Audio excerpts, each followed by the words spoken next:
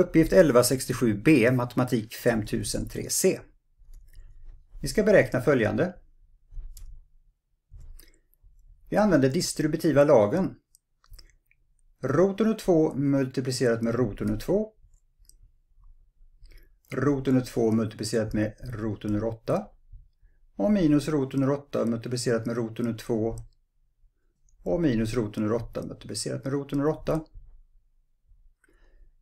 Enligt reglerna för kvadratrötter så kan vi nu skriva 2 gånger 2 under ett rotentecken och likadant med 2 gånger 8, 8 gånger 2 och 8 gånger 8. Och då ser vi att det här blir rot under 4 plus rot under 16 minus rot under 16 minus rot under 64. Tar vi nu roten ur alla de här eh, rotentecken här så får vi 2 plus 4 minus 4 minus 8. Plus 4 minus 4 är ju 0 och kvar är 2 minus 8 vilket ger oss värdet 6. Men vi har ju någonting som heter konjugatregeln också. Och så ska jag visa en lösning om vi istället använder den direkt. Vi använder konjugatregeln.